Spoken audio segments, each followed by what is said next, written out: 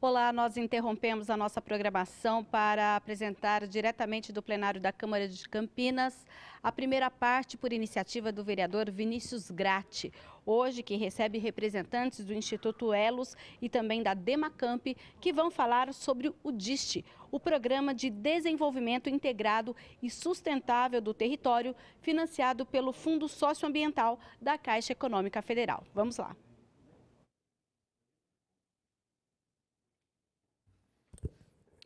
Boa noite a todos. Gostaria de declarar aberta a primeira parte da sessão ordinária da data de hoje. Cumprimentar aqui a presença, compondo a mesa, o Eduardo Nasser, que é assessor especial da Secretaria de Habitação.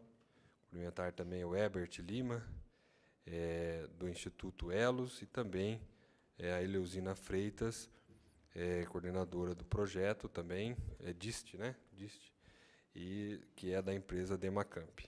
O agradecer também a presença do nobre vereador e colega Dr. Pedro Tourinho, é, bem como a todos os amigos que participam nesse momento é, aqui no plenário municipal, cumprimentar também a Gabriele, que faz parte do, do, do projeto, é, cumprimentar aqui a todos que nos assistem pela TV Câmara, especialmente aqueles que nos acompanham ao vivo através do Facebook e redes sociais. Eu quero é, passar aqui a palavra, ao, a princípio, ao Eduardo Nasser, em seguida já abro é, a, a, palavra aos nossos convidados e, e aí a gente é, abre também a palavra aos vereadores que porventura estiverem no plenário e quiserem fazer uso da palavra. Muito bem. Bom, boa noite a todos. Para nós é uma honra muito grande estar aqui conhecendo um pouco do trabalho do Instituto Elos, a convite do vereador Vinícius Gratti, o qual capitania esta reunião representando a, o nosso legislativo da cidade de Campinas. E o Instituto Elos, através desse programa DIST, é o Desenvolvimento Integrado e Sustentado dos Territórios, ele traz uma uma nova visão com relação aos empreendimentos Minha Casa Minha Vida, principalmente e exclusivamente aqui em Campinas, com relação aos três conjuntos habitacionais, o Sírios, o Abaeté e o Bassoli, no qual a gente sabe como funciona o programa, é um programa muito bom, Minha Casa Minha Vida, mas faltam algumas coisas, principalmente com relação à questão de sociabilização dessa população que passa a integrar uma nova vida condominial da qual eles não têm muitos conhecimentos. E muitas coisas faltam também com relação à infraestrutura, à questão escolar e principalmente na, nas questões sociais e a vivência em sociedade. E o trabalho que eles vão explicar para nós aqui, eu já tive o prazer de conhecer, vai muito de encontro a isso. Né? Tentar transformar através de um dessa política do governo federal, chamado DIST, que eles responderam a esse chamamento público realizado pela Caixa Econômica Federal e, através disso, levar noções de cidadania, de convivência e também algumas obras pontuais para que essa população se sinta mais integrada ao espaço urbano. A gente sabe que esses são territórios que ficam acabaram ficando longe dos centros urbanos e até o centro urbano chegar até lá demora bastante, né? embora todo esforço tenha sido feito pelo governo municipal. Então, vamos conhecer aí, eu tenho certeza que a cidade de Campinas ganha muito com grupos como o Instituto Elos, em parceria com a Demacamp. Muito obrigado.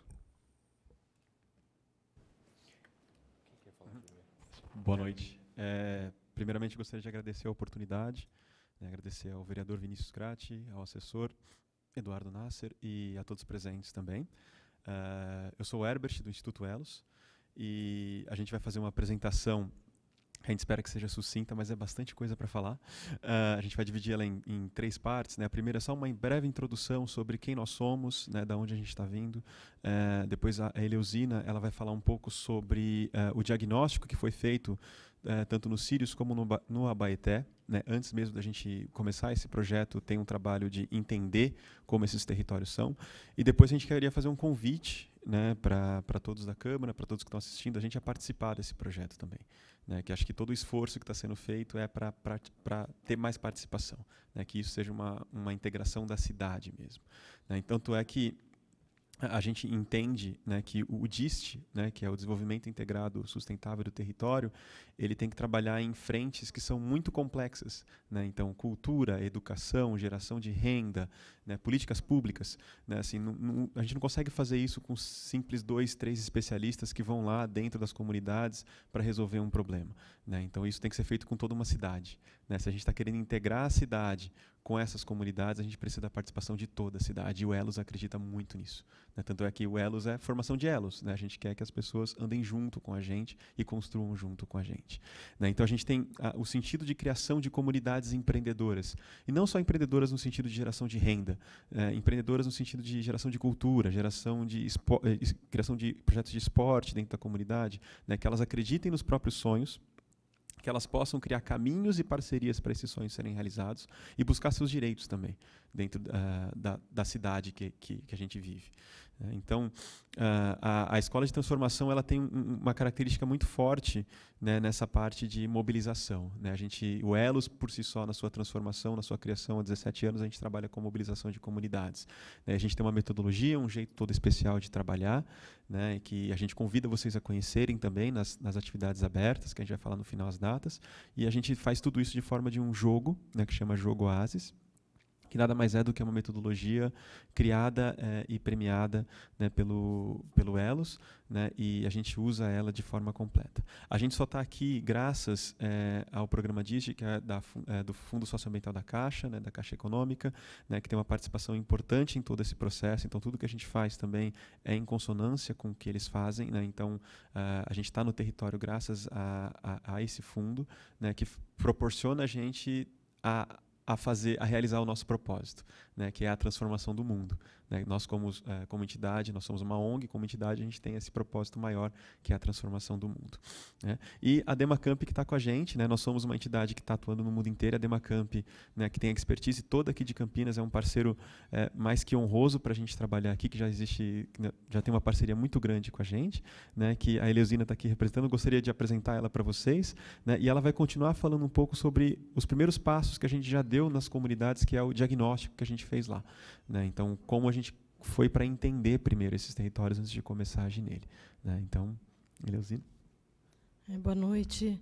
Pra, gostaria de agradecer a oportunidade de estar apresentando esse projeto aqui na Câmara, para o vereador Vinícius Gratti, para o Eduardo Nasser, que nos viabilizou esse, essa, esse contato. Né? E a Demacamp, então, é uma empresa que atua em Campinas desde o final da década de 90. Né? A gente já tem é, diversos trabalhos envolvidos aqui na cidade, na área de planejamento, é, na área de habitação, é, especialmente coordenamos aí o, a elaboração do plano de habitação de Campinas em 2011, junto com a Fundação Getúlio Vargas, né?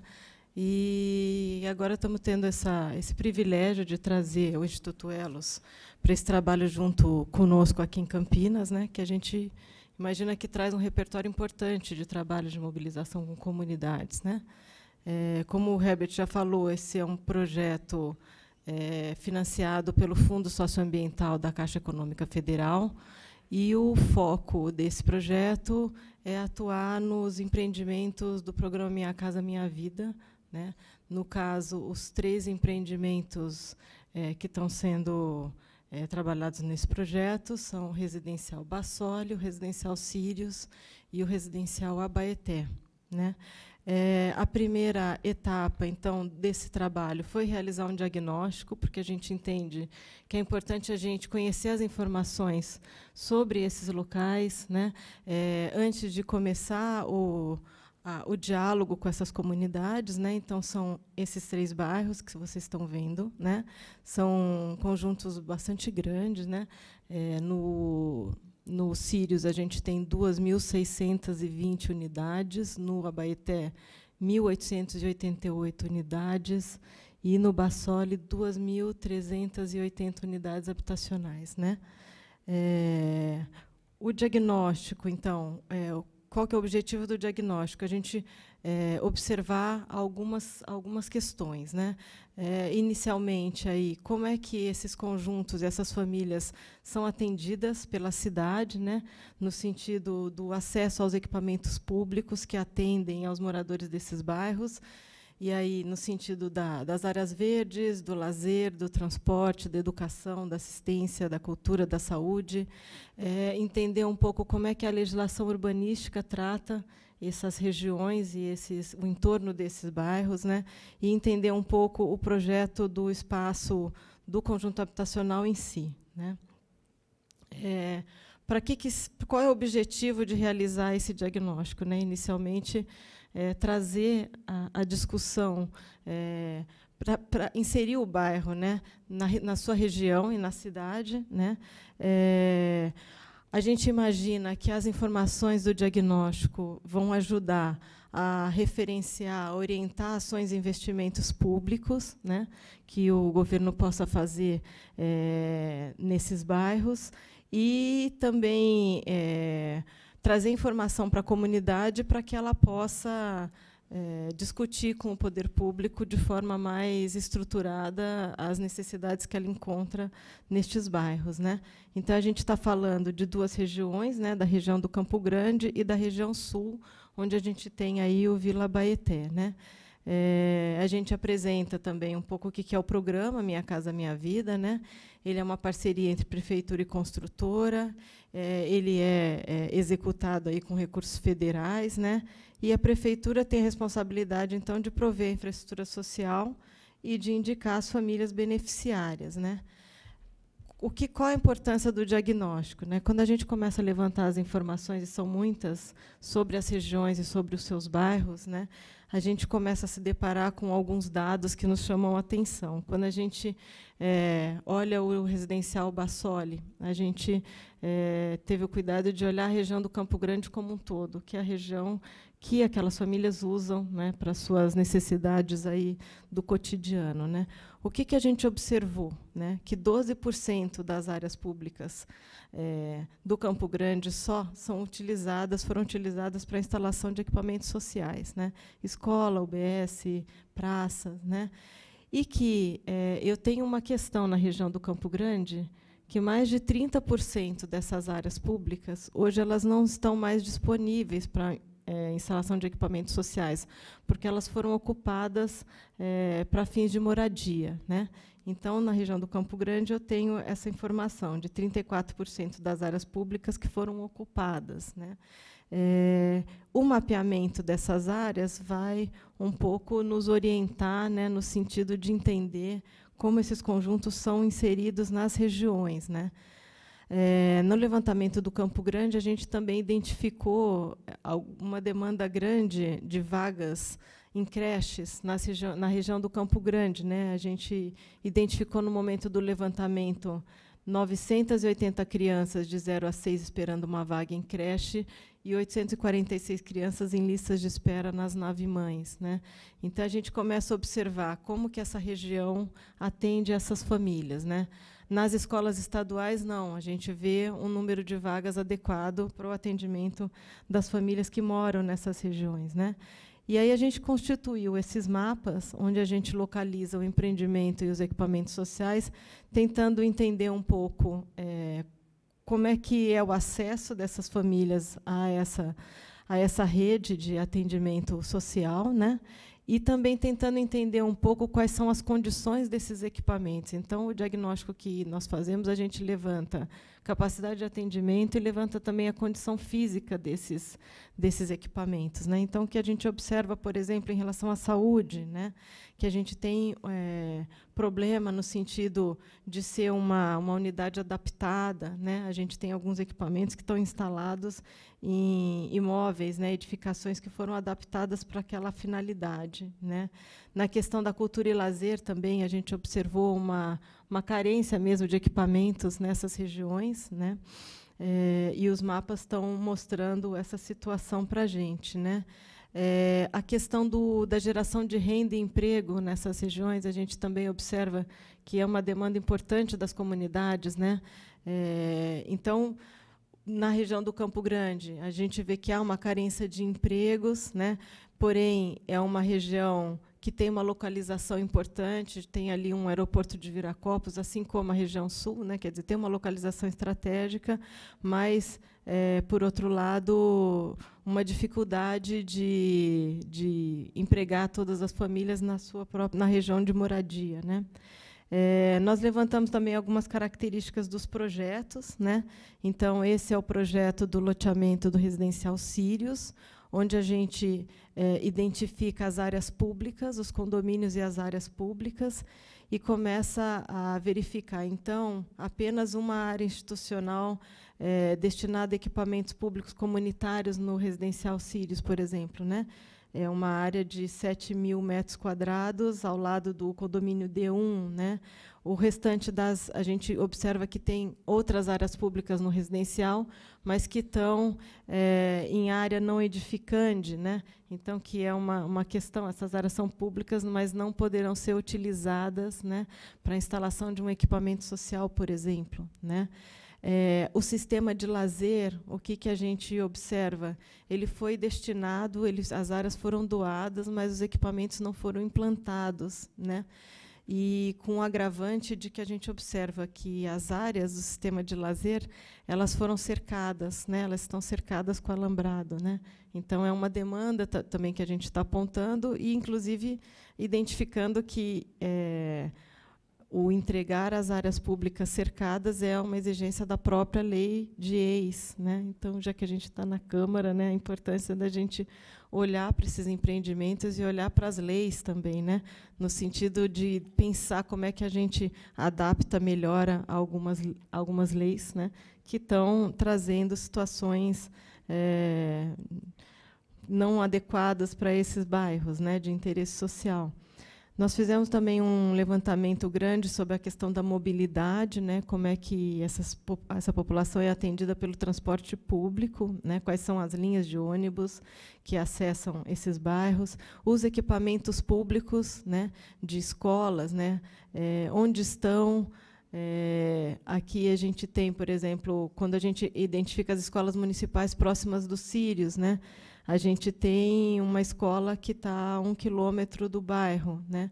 mas é uma escola que tem uma fila de espera grande, né? ela não consegue atender todas as crianças é, que precisam é, estudar ali. Né? Então, essas questões a gente fez esse levantamento extenso e, e fez a verificação disso com as famílias. Né? É, nas, nas reuniões devolutivas que a gente fez nos condomínios. Né? A questão da saúde nos sírios, né, que a gente observa aí a, o problema do, do centro de saúde que está interditado né, e que está adaptado aí no, dentro do equipamento do céu. Né. É, e a questão do lazer, né, que é uma questão que a gente identifica na, nos Sírios e no Abaeté também, uma ausência de equipamentos numa numa distância razoável aí que a população possa frequentar. Né? No caso dos sírios, o Bosque de Valença está a 7 quilômetros do residencial. Né? É, e aí a gente traz também informação do planejamento da cidade, né, do plano do verde, no caso, que identifica de fato que essa região, a UTB 46, onde está o residencial Sírios, é a região mais populosa onde eles identificam esse índice de áreas verdes sociais, de uso social nulo. Né? Então, o que, que, que isso está dizendo para a gente? Né? No sentido da importância de se priorizar é, a intervenção nessa área, a instalação de um equipamento de lazer público, né, dado ao, a, a, significativa população que se tem lá e a dificuldade de acesso a equipamentos de lazer. Né.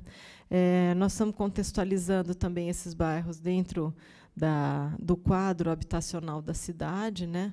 Então, aqui a gente tem a localização dos assentamentos precários de Campinas, né, é, e da legislação urbanística. Então, tem uma questão importante que a gente está trazendo para o projeto, que é, tendo em vista que a cidade vai rediscutir o seu plano diretor esse ano, a importância de trazer essa discussão para essas comunidades, né? trazer uma informação e trazê-las a participar dessa discussão com a cidade. Né? Porque a gente está no Sírios, a gente está falando do, da falta de áreas de comércio, a gente está falando da distância é, dos, dos acessos principais, né? Só que a gente vai ter que pensar isso, como que a legislação vai incorporar essa demanda que é muito evidente ali quando se vai né, no, no residencial. Né? É, então, a gente traz essa leitura da legislação. Né? Aqui no Sírios, por exemplo, a gente tem é, esse, essas manchas amarelas são as áreas que são residenciais, né? e a proposta, a gente já está apresentando a proposta que a Prefeitura vem discutindo de mudança da legislação. No caso, essa área vazia ao lado dos Sírios estando, é, estando demarcada como ZEIS, né, de indução, que deverá receber novas unidades habitacionais de interesse social. Né? E aí a gente é, essa, essa informação que a gente traz mostra que a gente precisa pensar em planejar né, áreas para localizar equipamentos sociais, equipamentos de comércio de maior porte, no sentido que é uma área que tem uma perspectiva de ser adensada né, nos próximos anos. É, estamos trazendo também as informações jurídicas, né, que existe um TAC que foi feito é, entre a prefeitura e as construtoras, é, onde está se acordando alguns ajustes que de, deverão ser feitos ali é, em função do residencial Sírios, e nós estamos também, dentro da Escola de Transformação, é, entendendo essa situação e apoiando os moradores é, em pensar aí, é, o desenrolar dessas tratativas junto com, as, com, a construtora e prefeitura. Né?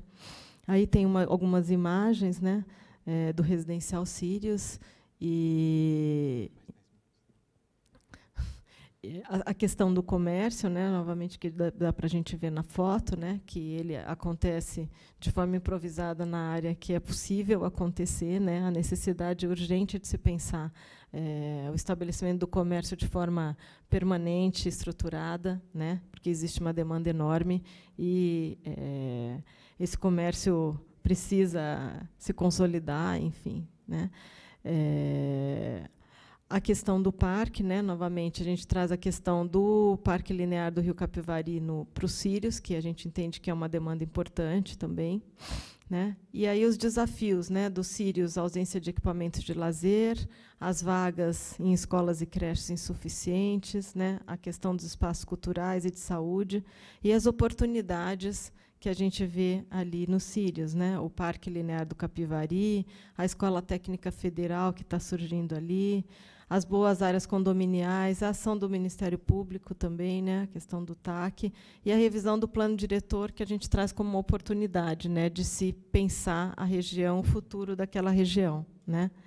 É, rapidamente, aqui o Abaeté, a gente traz essas mesmas informações que a gente levantou. Né. Aí, a questão das áreas públicas, né, no caso do Abaeté, ele está o entorno é, eu tenho poucos loteamentos implantados e, por isso, eu tenho um número menor de áreas públicas disponíveis, próximas do, do residencial. Né? É, a questão das áreas públicas do loteamento, que a gente vem é, tendo aí tratativas com a prefeitura no sentido da importância de, de se ter um equipamento de lazer aí, novamente, a mesma situação, uma situação semelhante ao que a gente observa nos Sírios, né? É, a ausência de espaços é, destinados para o lazer e a existência das áreas ali no loteamento. Né? É, a questão da mobilidade no, no Abaeté, existe uma, uma avaliação positiva da, do transporte ali, porque ele está muito próximo né, do centro, do aeroporto, né, tem uma, uma acessibilidade facilitada. Né.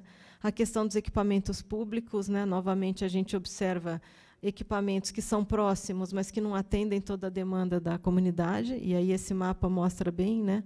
Eu tenho o, residencial Abaeté bem ali no, no, no, no no, to, no, na parte de baixo aí do mapa, e eu tenho escolas ali naquele pontinho 8 e 9 lá em cima que atendem a população do Abaeté. Né? As pessoas se deslocam muito para conseguir é, acessar as, as escolas. Né? algumas famílias ali. A questão da saúde, né, a gente apresenta a, que existe um centro de saúde no San Diego em construção, a ser inaugurado. Né? É, a questão do lazer, novamente, a distância que o Abaeté se encontra de áreas de lazer. Né? E a questão da legislação, que acho que o Abaeté está numa zona de, de, disputa intensa ali, né? porque eu tenho um encontro das duas rodovias, né? eu tenho ali a, a Santos Dumont, tenho a Bandeirantes, tenho o aeroporto logo ali. Né? e a perspectiva de se ter aí uma macrozona macrometropolitana, né, no próximo plano diretor, né, a proposta que está sendo apresentada e a necessidade de se pensar o que se quer para o futuro dessa região, né, que é uma região que está próxima do aeroporto, ela está próxima do Pedra Branca, com uma produção agrícola importante para a cidade, né, então, a, o que a gente tem trazido a importância dessa comunidade se conectar e se articular para discutir o futuro da cidade, que é o futuro dela e o futuro do entorno dessa região onde essas famílias hoje estão morando. Né? Nesse mapa a gente vê ali amarelinho a Baeté, a, a área agrícola produtiva, esse verde, né? E aqui embaixo, em roxo, o aeroporto e o distrito industrial. Né? Então, é, a gente entende que o futuro do Abaetel é, é, tem que se pensar no conjunto da cidade, o que, que se quer para essa parte da cidade, esse pedaço da cidade, né? com outros atores, enfim. Né? Então, basicamente, é essa visão que a gente está trazendo para os moradores, é, tentando trazê-los para uma discussão de cidade mais ampliada, enfim. É, e, e, aí, e tudo isso faz parte né, da, do diagnóstico, acho que para auxiliar né, e também construir esse diagnóstico vivo que é com os moradores né, da, desses condomínios. Né? Então, a, a, ideia é que essas informações elas sejam traduzidas e passadas para os moradores de forma que eles possam participar delas dentro da escola de transformação, que nada mais é do que é, um projeto onde a gente instiga a participação das pessoas. Né? Então, quando, às vezes, quando a gente fala escola, né, para as pessoas elas já têm aquela, aquele susto né, de uma coisa chata, né, quatro paredes, e, e, que a gente vai ter que ficar estudando e vai ter prova. Então, essa é a primeira coisa que a gente tenta desmistificar. Assim, não tem prova. A prova, na verdade, é a mão na massa, é a gente fazer acontecer. E os professores da escola de transformação somos todos nós. Né? Todo mundo que mora lá, todo mundo que participa do projeto. E os alunos também somos todos nós. Né? Então, a, a ideia da escola de transformação, né, dessa coisa de é, formar, mobilizar e realizar, né, ela é integrada. Então, não existe nada que a gente possa passar dentro da escola de transformação que não vai ser usado. Né? Tanto é que muitas das coisas que a gente quer é, trocar de informação vem de demanda da própria população mesmo, né, dos próprios moradores que, que, estão ali. Então essa primeira fase de diagnóstico ela foi super importante né, e ainda é importante para construir isso. Né, os diagnósticos continuam. Né, assim, a, no próprio no sábado mesmo de manhã a gente vai ter um, um, lá no Sirius né, uma, uma demonstração do diagnóstico jurídico né, para as pessoas se aprofundarem mais nas questões jurídicas do, do, dos condomínios e, e a gente também teve reuniões com parceiros né, que são próximos à cidade, né, então ONGs, né, a própria prefeitura, universidades, né, que a gente conversou com essas pessoas específicas para fazer parcerias. Né, então, a, a própria FEAC mesmo já está participando, já está sendo parceira do projeto, né, a Unicamp também, é, que, que querem estar dentro das comunidades também para trabalhar o desenvolvimento desses territórios, né, querem estar lá junto com a Escola de Transformação também para fazer acontecer. Né. É, nós tivemos já algumas atividades Uh, a primeira delas foi uma vivência, a Vivência Oasis, que é onde uh, nós mostramos como a gente faz as coisas, nossa metodologia de ação, uh, e, e, tem essa característica de jogo, onde toda a comunidade participa para poder construir um sonho comum.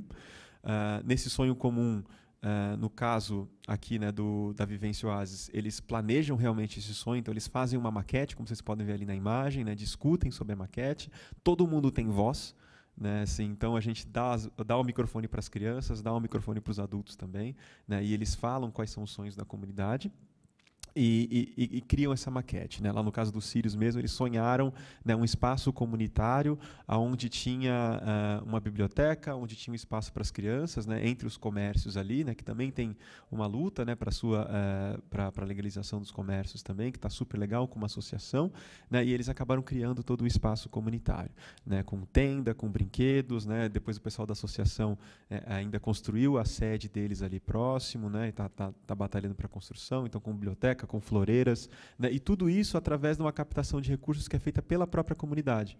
Né, então, eles correm atrás dos recursos, eles fazem a vaquinha, eles fazem a, a a rifa, né, eles pedem a doação né, ao redor. Né. Então, essa foi o primeiro passo, né, essa é a primeira entrada que a gente dá. Depois disso, a gente também fez um outro evento, que foi agora, na semana passada. Nós levamos as comunidades para conhecer duas iniciativas, né, na verdade, não iniciativas, né, já continuativas, aí, porque já eram projetos que já deram muito certo. A gente levou eles para São Paulo, lá para Heliópolis, na UNAS, e para Monte Azul, conhecer a Associação Monte Azul também, que são dois projetos fantásticos que inspiram as pessoas a, a verem pessoas que, como elas, né, sonharam um dia e construíram seus projetos. Né? Então, são projetos inspiradores, pessoas inspiradoras que falam a mesma língua, né, assim, que, que mostram o caminho das pedras mesmo e mostram como, como chegar e construir essas coisas. Então, é incrível você ver como uh, começam a surgir novos projetos. Né? Com isso, a gente fez um segundo evento que é o Encontro de Futuro, que foi esse sábado agora, o último, uh, ali no CIS Guanabara, né, em parceria com o pessoal da Unicamp, que cedeu espaço para gente. E, e, lá eles sonharam os próximos projetos né, que eles querem dentro das comunidades, dentro dos Sírios e dentro do Abaeté.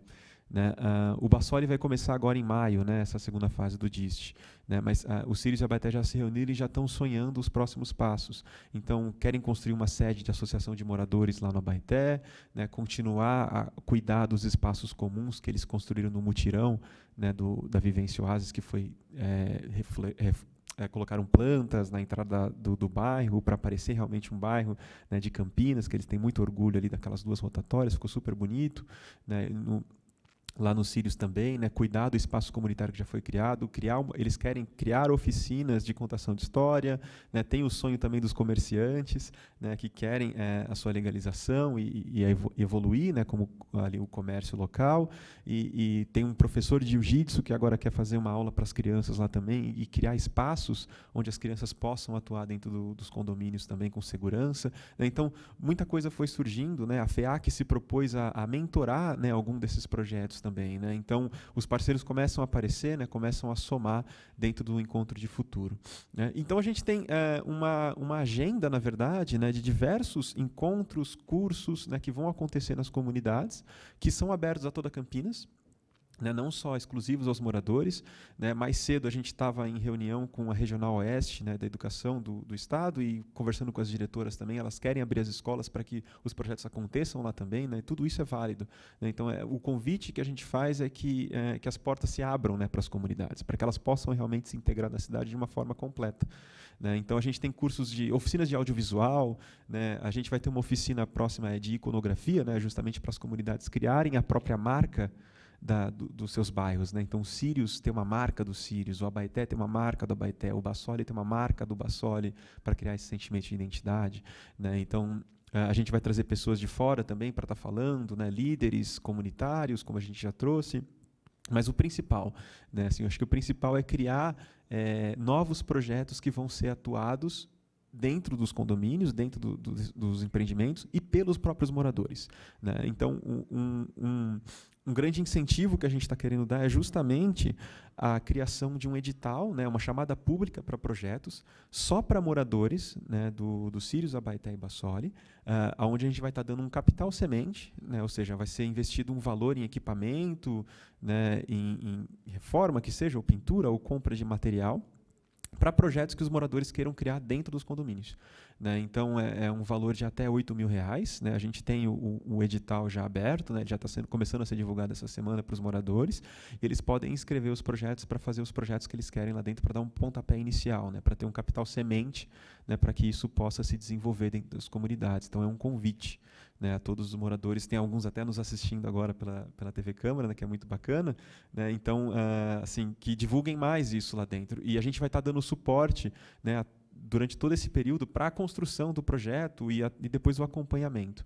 Né. Esses projetos eles vão ser apresentados uh, para a gente, né, para uma banca, na verdade, né, da cidade, que vai avaliar os projetos no dia 24 de junho.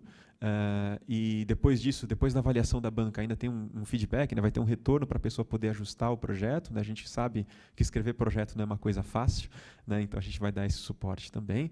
E, e enquanto isso, mesmo que, quando, enquanto os projetos estão acontecendo, eles estão fazendo, vai, ter, vai tendo atividade. Né? Então a gente vai ter um curso de política urbana que vai acontecer para todas as comunidades no dia 8 e 9 de abril. Uh, esse aqui vai ser no CIS Guanabara, né? Sim. É, a gente vai ter um, um, esse curso de iconografia que eu falei, que é construir essa marca da comunidade 17 a 19. É, a vivência no Oasis Bassoli, que é, ela é um pouco mais longa e densa, né, mas ela é super importante para poder mobilizar inicialmente a comunidade, né, de 5 a 8 e de 8 a, a 18 a 22 de maio. Essa tem que participar de todas as datas. Né? É, a gente vai ter uma feira de inspiração 6 e 7 de maio também, onde as comunidades vão criar né, aí as suas atividades, mostrar o que elas estão fazendo. E a gente tem um curso de introdução à comunicação não violenta de 20 a 21 de maio. Essas aqui são só as próximas datas, tem muita coisa ainda que vai acontecer é, dentro do, do Sírios, do Bassoli e do Abaeté. Né? Mas uh, a gente só colocou aqui para fazer um convite também para quem quiser participar dessas atividades, está lá. Né, assim, está aberta essa agenda, né, a gente acaba divulgando sempre nas redes sociais, né, o, o para os moradores tem grupo de WhatsApp, a gente está sempre lá na comunidade também é, fazendo a mobilização mas principalmente para a cidade de Campinas também poder participar né, e interagir com, com, esses, com essas três comunidades que uh, a gente gosta muito delas. Né? Assim, depois de, a gente tem uma, uma parte do nosso trabalho que chama afeto, né, que a gente cria relações afetivas com os moradores. Né? Então, acho que a gente precisa criar uma relação afetiva também com, com esses condomínios, com, com esses empreendimentos dentro do, do, de Campinas. Né? E é isso que a gente espera entregar daqui um ano nesse projeto da Escola de Transformação, que realmente uma transformação não só aconteça física dentro dos condomínios, mas também seja uma transformação é, completa nos nossos corações para toda a cidade. Né? Acho que é isso.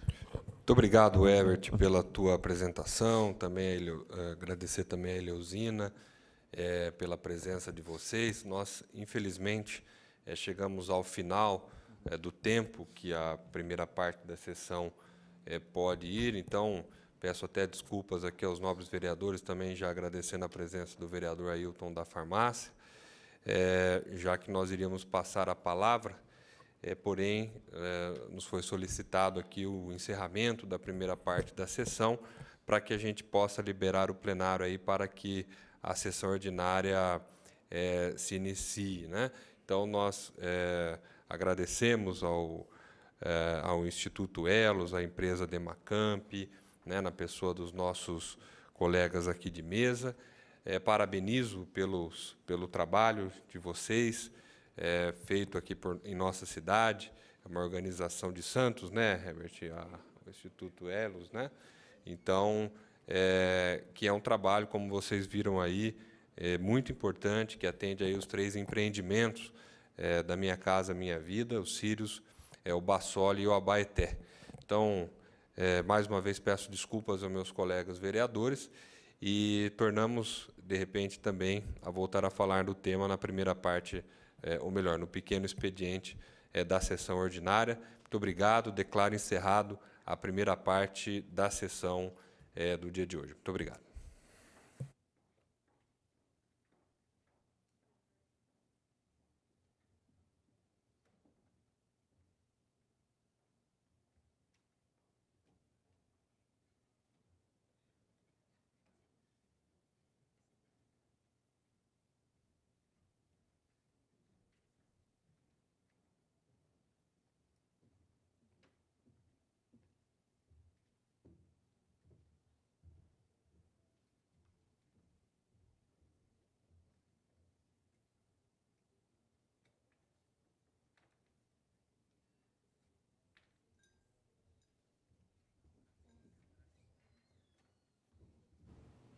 Encerrada, então, a participação do Instituto Elos e também da Demacamp, nós vamos conversar com o vereador Vinícius Gratti, que é o autor da iniciativa. Vereador, hoje aqui foi apresentado projetos em três comunidades, comunidades essas que muitas vezes vocês até falam das necessidades dessas três comunidades aqui nas reuniões ordinárias e em outros eventos. Eu queria que o senhor falasse sobre a importância de termos projetos como esse para o Bassólio, Sírios e também para o residencial Abaeté. Sim, Mina, queria é, agradecer a audiência também da TV Câmara e dizer que nessa primeira parte é, da sessão é, nos foi colocado aí esse projeto, esse trabalho feito pelo Demacamp, pela, pelo Instituto Elos, é, a esses três empreendimentos imobiliários da, da Minha Casa Minha Vida, né? o, o Bassoli, o Círios e o Abaeté. E sabemos que ali são regiões é, que são pontos também de vulnerabilidade que necessitam, é, por não estar completos né, o, os bairros ali, é, de é, atuação maior é, por parte do poder público. Isso também é feito através desse trabalho. Por isso é que é, foi uma apresentação bastante rica e completa e que nos possibilitou entender melhor esse trabalho. Ótimo, então obrigado e parabéns pela iniciativa. Muito obrigado, Bina, muito obrigado a todos. E a gente fica por aqui, daqui a pouco então nós teremos a abertura da 14ª reunião ordinária. Até mais. TV Câmara Campinas.